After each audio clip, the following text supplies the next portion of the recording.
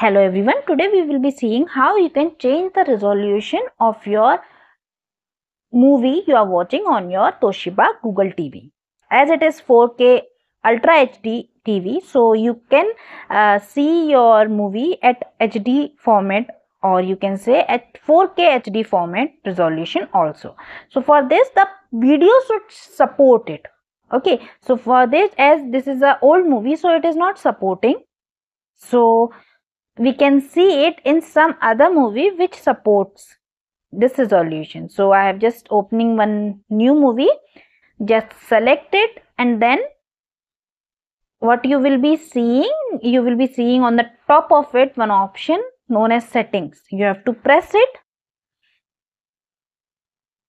And if it is available in 4k resolution then it will be shown in the options.